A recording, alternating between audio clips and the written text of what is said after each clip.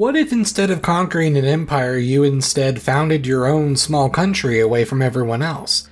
This has been attempted more times than you think, so much so that we have the concept of micronations. Not to be confused with microstates, which are just tiny countries like San Marino. Micronations are when a single person or tiny group of people try to form a country but lack any sort of international recognition. They don't win independence in a war either. They essentially LARP as a country but take it very seriously. I've made videos about a couple of these micronations in the past, such as the 1972 Republic of Minerva or the 2004 Gay and Lesbian Kingdom of the Coral Islands. Then, of course, the most famous example is Sealand.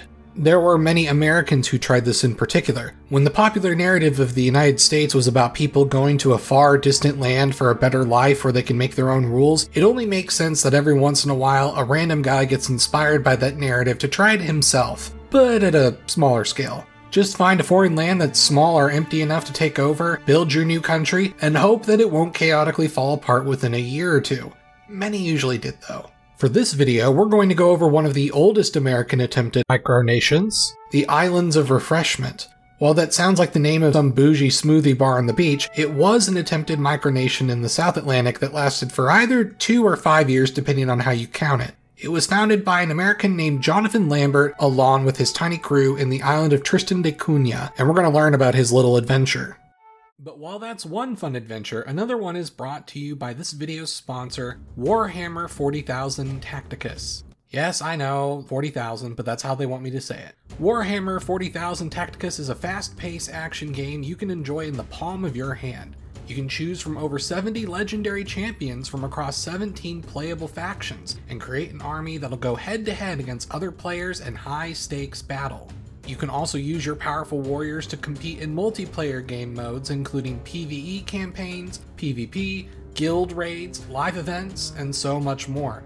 Currently, there's a new event with the Genestealer cult just in time for the Halloween season. If you use the code OCTWELCOME with the link below, you can receive 2,000 coins and 50 Blackstone to give yourself a good head start in the game. So download Warhammer 40,000 Tacticus today and fight hard with the top champions on the go-to game for top quality tactical material. Thanks to Warhammer 40,000 Tacticus for sponsoring this video. To better explain Lambert's story, let's go over the brief history of the islands themselves. The islands, even to this day, are considered one of the most isolated in the world. Even now, you can only get there by ship. The islands were completely uninhabited for most of human history. In 1506, a Portuguese explorer named Tristão da Cunha spotted them, giving the archipelago its name.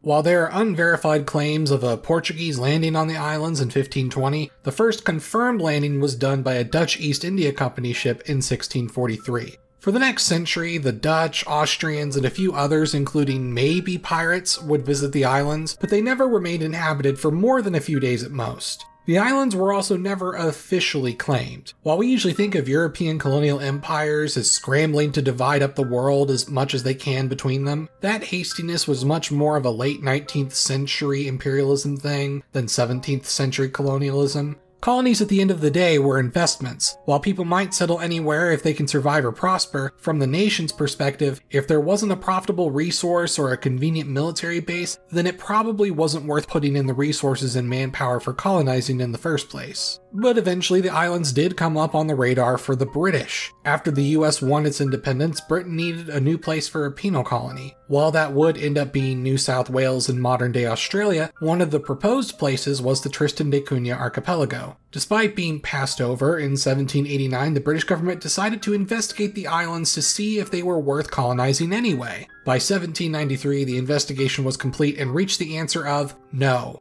So the islands remained uninhabited, until Jonathan Lambert came along. Very little is known of Jonathan Lambert's early life other than that he was born in Salem, Massachusetts in 1772, and that his father was a sailor and sometimes he'd be on voyages with him. In 1810, at the age of 38, he did join a US whaling ship named the Grand Turk, so at the very least, he had quite a lot of sailing experience. It would make sense that Lambert would be a whaler because many of the more isolated islands in both the North and South Atlantic Oceans would often be these uninhabited, uncolonized islands that didn't have many natural resources. It meant that one of the few good uses they had was being a temporary base for ships that would fish and whale hunt in the waters around it. So naturally, someone who spent time on a whaling ship would be one of the few people to at least be somewhat familiar with islands like Tristan. Admittedly, it's not quite known when Lambert first landed on Tristan. He claimed to have visited the island briefly in 1805, but in the journey of claiming the islands for himself, he landed on Tristan on January 6, 1811, with two men named Thomas Curie and a man simply known as William. His superior, Captain Lovell, was off visiting another island at this time. Apparently, Lambert had many random discussions about his adventure along the way because not long after, two men named Benjamin Seaver and Andrew Millet joined upon hearing the rumors. The men settled on the island and cleared 50 acres of land to grow a variety of things, ranging from corn and potatoes to sugarcane and coffee plants. So I guess it's a little understandable why they decided to rename the island of Tristan to the Isle of Refreshment. After Captain Lovell made another stop to see how things were going, he eventually left them to their own devices on the island. And on February 4th, 1911, Jonathan Lambert decided to formally declare absolute possession of the island as well as the rest of the archipelago, and he justified it on the basis of terra nullius. Basically, no one was there who could dispute his claim past or present, which, fair enough. This was a common justification Europeans used for colonial claims at the time, and in this case, there wasn't even an indigenous population to inconveniently ignore, so it's arguably more legitimate. Naturally, Lambert needed a title, so Jonathan went with Lord and Prince of the Islands of Refreshment. He sent word of his declaration back home to the United States, and it would be published across the summer of 1911 in multiple publications and newspapers. It was even published all the way in the UK in London's Morning Chronicle, right below some random story about a race attended by the Duke of York. Jonathan Lambert also made his own flag for this new country. General reactions from the American or British public were mixed, some people were rolling their eyes and scoffing at this weirdo who decided to do this. Other people were slightly amused and even charmed. After all, people love a good adventure. Neither the American nor British governments recognized his claim, but they didn't really do much about it either. News from the island would take forever to arrive, but every once in a while there would be stories published about the agricultural success on the island. But that was really about it. At some point, Benjamin Seaver left the island to try and get investment for further building upon the profitability of the island. He went from places ranging from Cape Town to Rio de Janeiro to Buenos Aires, but used shady means such as implying the settlement was under British protection or sponsorship when it really wasn't. So he got into trouble, and his grift didn't work out. All it did was ultimately cause the British Navy to be a little more concerned. Meanwhile, on May 17th of 1812, Lord and Prince Lambert, along with Millet and Williams, apparently drowned when going out fishing. This meant Thomas Curie was by himself on the island. Since Lambert didn't have a successor, you could mark this as the first possible date of the end of this micronation. Or I guess you could say it's like a rump state. News of this didn't even break out until all the way in 1814 and this just made the British want to settle matters even quicker. But they were kind of distracted with the whole Napoleon thing in Europe and the War of 1812 in America, so it still took a while. On August 14th of 1816, the British finally came in and took over the archipelago. Aside from Lambert being dead and therefore making the claim null and void, the British further justified their presence by wanting to make sure the French didn't take the island.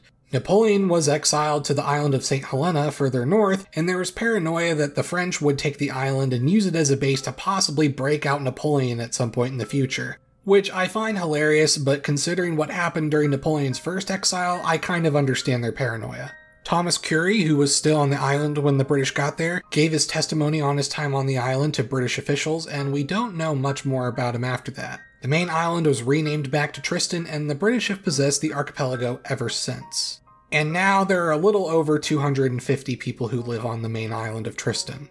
While Jonathan Lambert's attempt at a micronation is hardly the only one, it is one of the more fascinating and somewhat charming ones due to the way it captured the imaginations of some people at the time. British author Charles Dickens notably called the attempted nation an oddity with a darling flag. Some also imagined Jonathan Lambert as a pirate like figure, which inspired its own set of rumors. One such rumor was that either Lambert or Thomas Curie had buried treasure somewhere on the island. However, no such treasure was ever found or confirmed to have existed. And once those rumors were squashed, people generally moved on and the memory about this random adventure kind of faded. But nevertheless, it's a fun, exciting part of this island's history. Thanks for watching the video, and once again, special thanks to the sponsor Warhammer 40,000 Tacticus. Remember to get the game through the link below.